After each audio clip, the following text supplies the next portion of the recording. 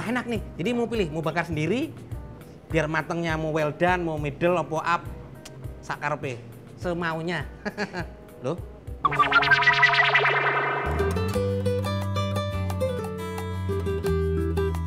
Waduh, Benu Elmo kenyang banget. Istirahat sebentar yo.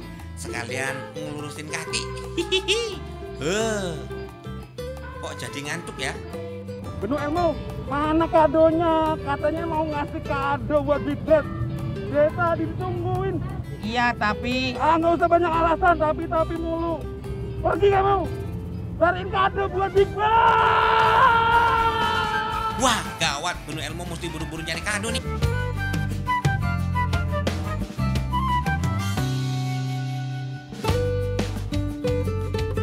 Ah, loh. Kok duluan toleh? Aduh, aku ditinggal ya, kepala kok malah duluan. Bukannya kaki yang duluan jalan.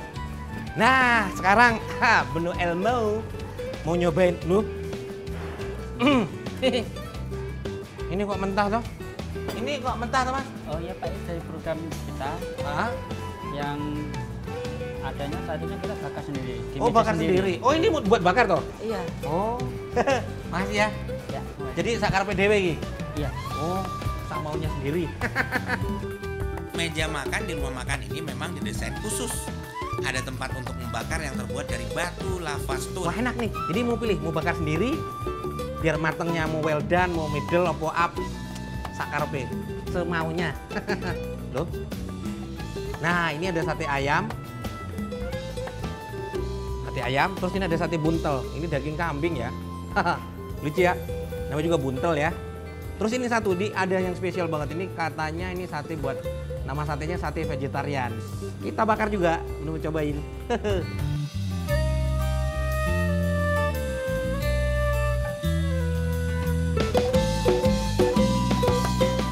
Nah, ini kita cobain dulu rasanya seperti apa. Pasti ntar ketahuan isinya apa.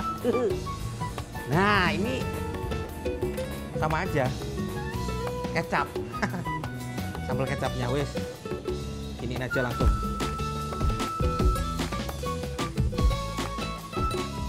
Langsung hajar aja nih. Yuk mari. Nyaris mirip daging ya. Bahan dasarnya itu memang sebenarnya dari ini, dari kedelai dan tepung ya. Tapi kalau kita makan pertama nih, nyat tertipu kita. Jadi kayak makan daging gitu. Jadi memang sengaja di set sama chefnya. Jadi berasa kayak makan daging. Jadi agak ada ada serat-seratnya itu. Kalau daging itu kan ada seratnya ya. Jadi kayak berserat-berserat gitu. Aduh. Ini tampilan yang menipu tapi cucok ini. Ini hauce. Untuk membuat sate vegetarian ini pertama-tama siapkan bahannya. Seperti kacang kedelai, tepung terigu, merica, dan garam. Campurkan semua bahan menjadi satu, lalu bentuk adonan. Kukus selama kurang lebih satu jam, selanjutnya adonan kedelai ditusuk satu persatu.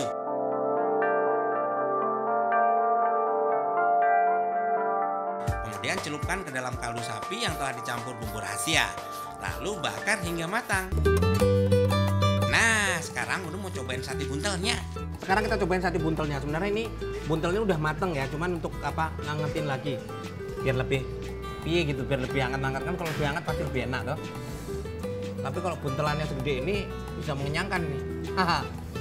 Biasanya dibuntel pakai itu ya pakai lemaknya ya. Ini modelnya kayak lemak gitu ya. Jadi sengaja dibuntel pakai lemaknya daging anu kambing. Cobain ya.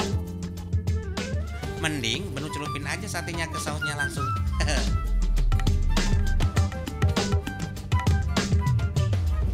Jadi memang apa rasanya tuh memang di dagingnya kayak udah dikasih sedikit rempah ya. Jadi memang eh, aromanya dapet banget, dagingnya udah pasti empuk ya.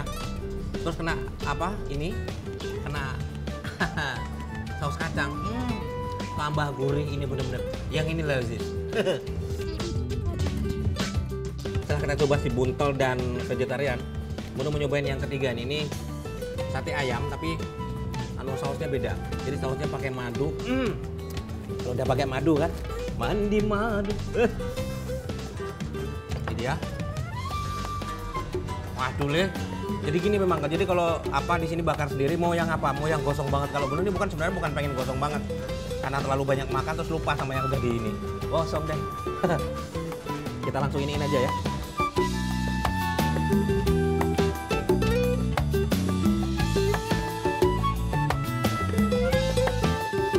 Kita pakai saus ini.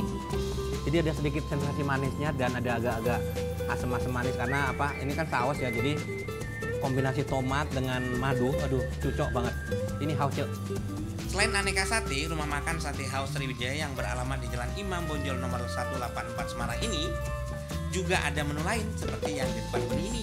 Gurami buah tulang. Unik yo. Tapi gimana rasanya? Kita langsung coba aja ya. Kita coba pasangkan dengan saus tiramnya. Coba enggak?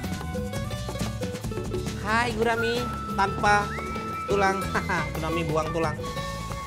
Sekarang kita main patahkan aja satu-satu nih. Yuk kita langsung ini aja ya. Kayaknya pakai tangan akan lebih lucu karena ininya digoreng crispy tapi dagingnya masih kelihatan kan ini agak masih putih. Dagingnya masih sempurna ya walaupun kelilingnya itu udah crispy banget. Kita celupin langsung ke ininya ke sausnya